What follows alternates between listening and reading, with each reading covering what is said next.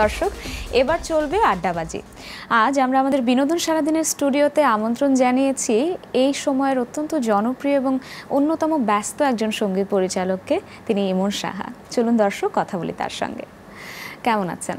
খুব ভালো। তুমি কেমন আছো? আমিও ভীষণ ভালো আছি। আপনাকে পেয়ে খুব ভালো লাগছে আসলে। আচ্ছা একটা ব্যাপার বলুন তো এখনকার সময় তো জনপ্রিয় বটেই এবং আপনি দীর্ঘদিন ধরে কাজ করছেন।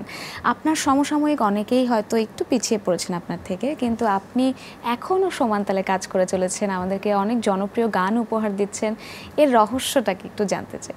তোমাদের ভালোবাসা সৃষ্টিকর্তার আশীর্বাদ একটা কথা আছে মনীষীদের কর্মই ধর্ম। আমি আমার সর্বশ্রেষ্ঠ ভালোবাসা বলো ডেডিকেশন বলো সব কিছু আমি কাজের উপরেই দিতে চাই। তো এবং দেওয়ার পরেও যে সবসময় যে বেস্ট আউটপুটটা আসে তাও না।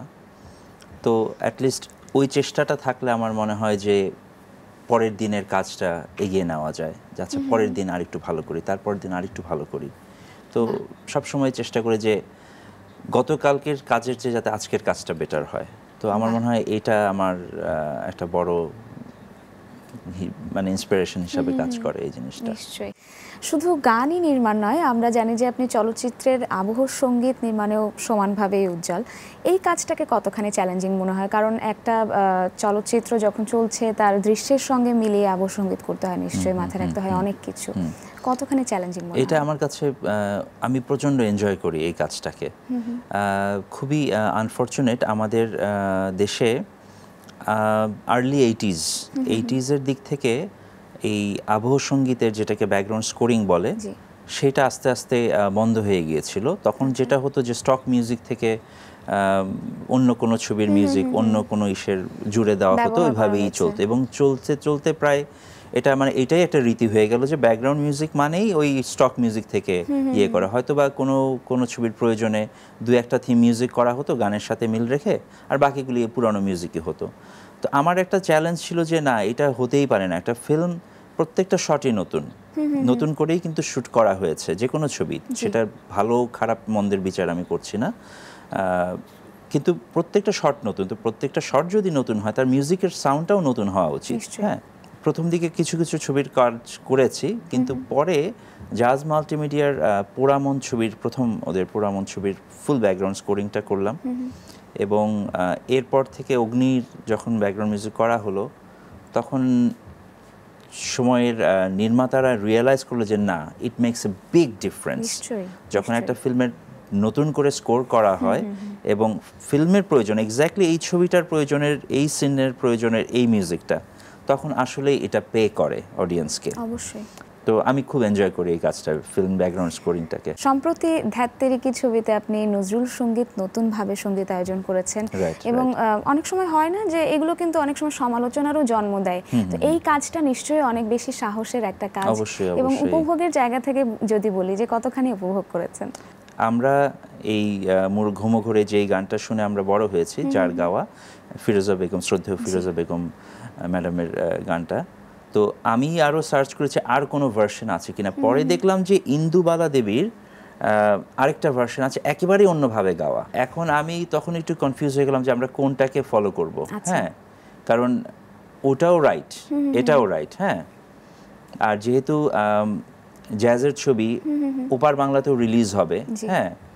সো এইটার একটু কনফিউশন আমার মধ্যে ছিল যে কি করব। পরে ডিসিশন নেওয়া হলো আমি দু একজনের সাথে আলাপও করে নিয়েছি যারা নজরুলের কাজ নিয়ে গবেষণা করে বা গান করে সব সময় তো তখন সবাই বলল যে না এটাই করাটাই বেটার হবে। তারপর নদী গেয়েছে অত্যন্ত ভালো গেয়েছে এবং রিলিজ হওয়ার পরে আমি অত্যন্ত পজিটিভ ফিডব্যাক পাচ্ছি।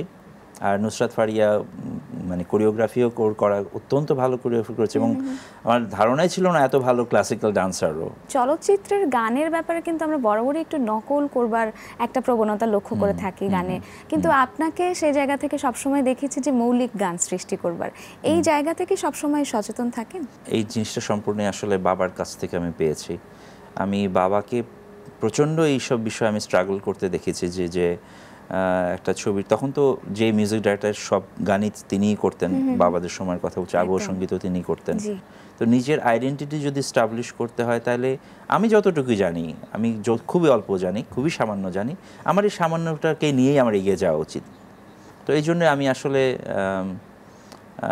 আমার I don't feel excited or anything like নকল গান করব কেন? এটা কি জন্য? এক্স্যাক্টলি যেহেতু আপনার বাবার কথা চলেই আসলো আমাদের দেশের কিংবদন্তি একজন সংগীত পরিচালক সত্য সাহার ছেলে আপনি তার নীল আকাশের নিচে গানটি আপনি নতুনভাবে সংগীত আয়োজন করেছিলেন এবং হ্যাঁ, হ্যাঁ, এমন কি কোনো পরিকল্পনা আছে সামনে যে তার তো আরও অনেক জনপ্রিয় গান আছে? সেগুলো নতুনভাবে সংগীত আয়োজন করবে নীল আকাশের নিচে গানটা আসলে একটা চলচ্চিত্রের জন্যই আমাদের আহ, চলচ্চিত্রের নায়করাজ রাজাক আঙ্কেলের একটা ছবির জন্যই করেছিলাম এবং গানটা তে অভিনয় করেছিল নতুনটাতে সম্রাট হ্যাঁ? তো সেটার একটা লিঙ্ক ছিল একটা সূত্র ছিল বলেই এই গানটা নতুন করে করা। কিন্তু বাবার গান নিয়ে রিমিক্স করার আমার একেবারেই ইচ্ছা নেই। সামনে কি কি কাজ পাচ্ছি আপনার কাছ থেকে আর? অনেকগুলি কাজ আসছে। এর মধ্যে উল্লেখযোগ্য আমি বলব যে ধেত্তেরিকে রিলিজ হচ্ছে পয়লা বৈশাখে গহীন বালুচর বদরুল আনাম সৌদ ভাইয়ের ছবির সবগুলি গান এবং আবহ সঙ্গীতের কাজ করছি।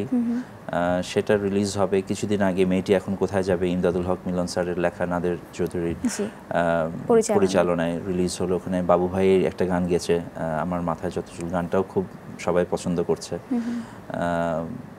আরও বেশ কিছু ছবি আসছে হাতে প্রায় বিশ বাইশটার মতো কাজ পুরোপুরি ব্যস্ত সংগীত পরিচালক একদম হ্যাঁ। অসংখ্য ধন্যবাদ আজকে আমাদেরকে এত ব্যস্ত সময়ের মাঝখান থেকে একটু সময় দেওয়ার জন্য তোমাকে অনেক ধন্যবাদ এবং তোমার প্রতি একটা রিকোয়েস্ট আছে তুমি অনেক সুন্দর গান গাও এবং গানটাও তোমার কাছে যাতে কন্টিনিউ।